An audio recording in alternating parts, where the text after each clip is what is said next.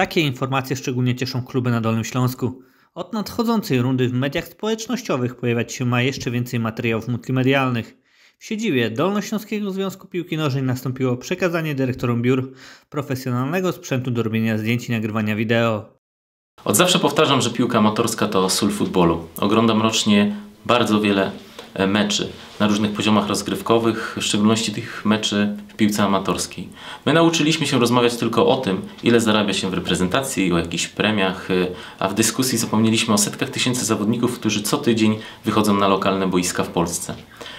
Oni sobie poradzą bez Lewandowskiego, ale bez tych ludzi to my kolejnych zawodników tego typu mieć nie będziemy.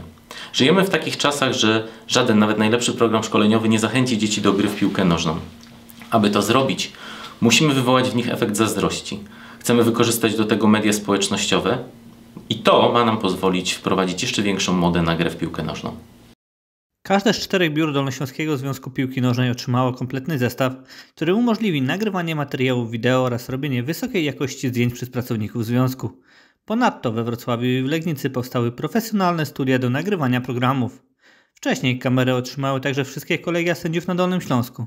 Inwestycje zostały sfinansowane z budżetu DZPN, a także środków pozyskanych w ramach wsparcia medialno-marketingowego z PZPN. Trzeba być świadomym, że to jest długofalowy projekt, który trzeba było najpierw dokładnie zaplanować. Obecnie jesteśmy na etapie wdrażania pierwszych rozwiązań, ale z czasem przyjdą kolejne materiały, kolejne nowości, które będziemy udostępniać.